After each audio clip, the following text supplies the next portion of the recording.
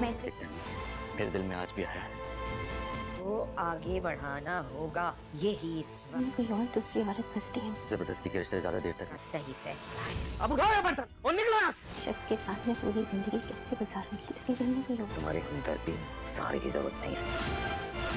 रिश्ते को ईमानदारी और सच्चे दिल से निभाना है मुझे तुम जाफ़र अपने घर तो आ जाता है लेकिन वो हया से कहता है कि मुझे तुम्हारी मदद की कोई ज़रूरत नहीं मेरी नज़रों से दूर हो जाओ।